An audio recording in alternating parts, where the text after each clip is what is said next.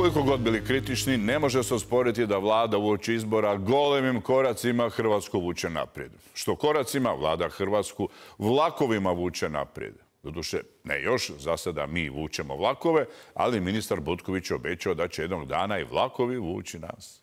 A hoće li konačno Hrvatske željeznice doživjeti renesansu? Grade se nove pruge, obnavljaju postojeće, kupuju novi vlakovi, pa iz vlade eto kažu bit će ovo desetljeće ulaganja. Infrastruktura i željeznica nije na onoj razini na kojoj bi trebala biti, ali tu moramo biti objektivni. Hrvatska nije mogla u isto vrijeme nakon domovinskog rata razvijati autocestovnu infrastrukturu i željezničku u isto vrijeme. Znači, prošlo je 30 godina od domovinskog rata. Znači, Njemačka bi i danas išla konjskim zapregama od rata. No, da ne bi sad opet rekli da vlada priča bajke, idemo izravno na gradilište nove željezničke infrastrukture. Prvi pomaci tračnice, vlakovi, pragovi, već se izgleda vide. Na gradilištu je naš reporter Rudi. Rudi nije iz onih viceva o Bobi i Rudiju, ali kao da je pa da čujemo što Rudi kaže. Vlada ponovno dokazuje da radi punom parom, a uskoro ćemo napokon i tu paru poslati u ropotarnicu povijesti. Naime, vlada ulaže oko 6 milijardi eura u revitalizaciju hrvatskih željeznica. Od livada i polja, preko šuma i gora, pa sve do mora. Od Slavonije do Dalmacije, od Istre do Dubrovnika, niču mostovi, tuneli, vijadukti i kolodvori. Iako radovi na najzahtjevnijim dionicama još nisu započeli, neki od onih na manje zahtjevnima već su završeni. A naša kamera prva je zabilježila otvaranje novog vijadukta Iverica 2 u Sisačko-Moslavačkoj županiji. Pogledajmo reakcije prvih putnika. Oduševljen sam, nikad se nisam tako udobno i brzo vozio. Svaka čast vladi i ministarstvu. Joj, tak mi je bila dobra prva vožnja. Došlo mi je da uopće ne izlazim van iz vlaka i jedva čekam sljedeće.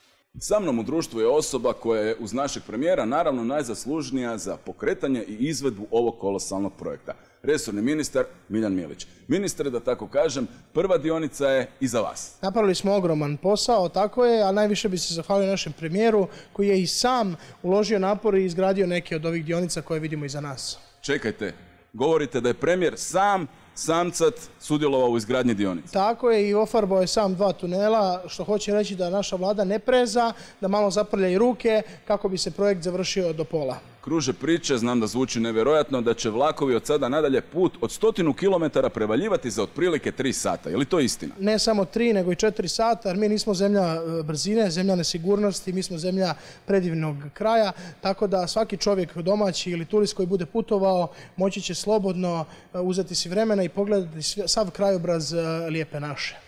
Pretpostavlja se da će projekt u cijelosti koštati oko 6 milijardi eura. Jesu li pretpostavke točne? Hvala vam što ste postavili to pitanje i zapravo drago mi je da ste postavili to pitanje, ali zašto se uopće postavlja to pitanje? Jer to nije bitno uopće, dakle, jer nije bitno da smo uzeli 6 ili 66 milijardi, bitno je da se radi, da su izvukle pare iz europskih fondova, a ta pitanja postavlja naravno oporba, znamo mi zašto, oni samo i postavljaju pitanja, a matematiku bi trebali ostaviti stručnjacima da se time bave. Ovim projektom vlada uvodi Hrvatske željeznice direktno iz 19. u 21. stoljeće. Što pretpostavljate do koje godine bi projekt u cijelosti mogao biti završen? Dakle, ovako će to izgledati. 2091. E, će vjerojatno biti gotov. Tad je tamo ni 100 godina Hrvatskih željeznica, pa ćemo prigodno organizirati e, jednu feštu gdje će se dijeliti grah na e, glavnom kolodvoru, a dijelit će se i besplatna vožnja za naše pučanstvo, za naše građane od Zagreba do Donje Zdenče Čine, e, nazad se plaća karta. Znači, sretan put i dobar tek. Apsolutno, hvala vam. I vama i vašim birači, e, gledateljima. Bio je ovo resorni ministar Miljan Milić, kao što smo čuli, ključno pitanje. Od sada nadalje neće više biti gdje si bio 1991. nego gdje ćeš biti 2091. Među epohalne infrastrukturne uspjehe svih hrvatskih vlada svakako ulazi gradnja autoceste od Zagreba do Siska. Riječ je o gotovo 47 km autoceste koju su hrvatske autoceste izgradile za samo, pazite sad, za samo 18 godina. I to po izuzetno zahtjevnom ravničarskom terenu. Ali da ne bi se ostalo na tome, ova zadnja uprava Hrvatskih autocesta u suradnji s fantastičnom upravom Hrvatskih cesta dosjetili su se genijalnom rješenju, kako javlja jutarnji list. Zadnja dionica autoceste do Siska uopće neće doći do Siska. Završit će u nekoj livadi prije Siska. Jer to je fora. Ideš za Sisak i završiš u Blatnoj livadi prije Siska. Jer mi već imamo takvih mostova koji ne idu nigdje, pa šteta da nemamo i autocestu koja ne vodi nigdje.